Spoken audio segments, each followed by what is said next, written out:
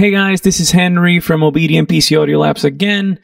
Today we're back with our series of video tutorials on the 11 MK2 plugin included in Avid Pro Tools. So on the previous tutorial, we talked about another plugin that actually comes with 11 MK2, which is the 11 Lite plugin. Now, the actual 11, I guess you could say bundle, actually comes with a third plugin, which is the 11 cab. And when I talk about the 11 cab, I mean a plugin that only includes the cabinet module. Now, why would you want this? Well, let's say that you have another um, plugin that is trying to emulate the actual amplifier head, but you don't like the cabinet that's included in that plugin. Well, you could basically uh, mute or bypass the cabinet module of that that plugin and then add as the next plugin in your chain the actual cabinet from 11 okay?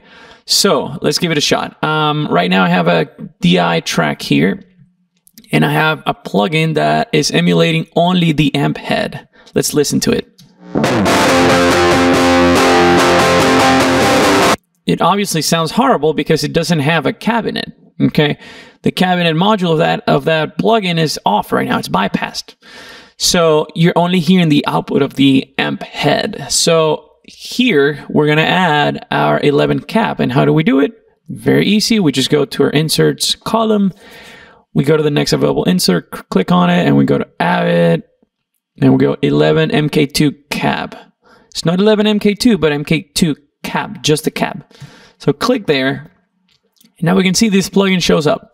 So this plugin only has the cabinet uh, part and the microphone part. So once again, you would select the cabinet that you want. Let's say you want a 4x12 65 watt. Okay. Um, and then you can also set your microphone and whether you want it on axis or off axis, and then your output. So if we go ahead and press play, now it sounds like a guitar. So let's go ahead and toggle a couple cabs.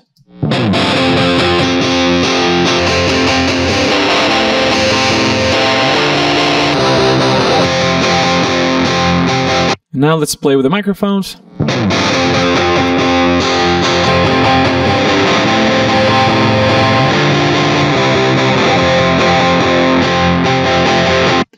And once again, we have our output knob. We want to make sure that we're green, uh, maybe hitting yellow, but never red.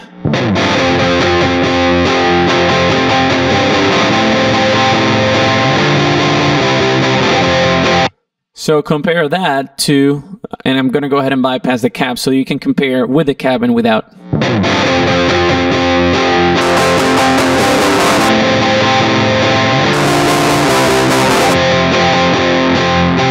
So pretty obvious, right? Obviously, it sounds way better with the cab, um, uh, you know, with the cab added, right? So that's the 11MK2 cab plugin included as part of your 11 um, MK2 plugin bundle.